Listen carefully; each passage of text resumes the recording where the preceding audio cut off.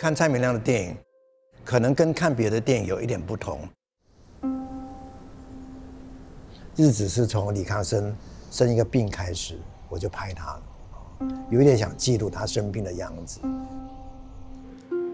后来我去泰国旅行，遇到了亚农，我非常喜欢他的样子，我就跑到泰国去拍他的外劳的生活。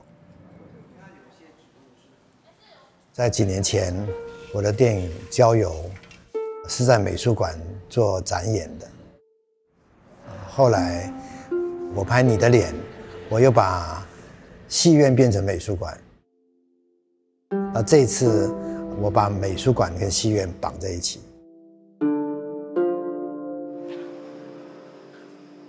有一批画是我在疫情期间画的，亚农跟李康生，因为。他们刚好都不在我身边，很想念他们，我就画了一批画。整个美术馆还有我其他的画作。我很大的兴趣就是看观众看完电影怎么来看我的展览，他们互为因果，都是我的创作。那我的创作是来自我的生活。大家来看我的展览，它既是现场的。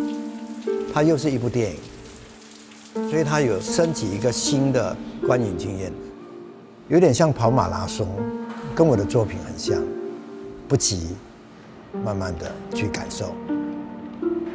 所以电影叫《日子》，美术馆的展览叫蔡明亮的日子。你看完电影，你就可以来看展览，或者你先看完展览再来看电影。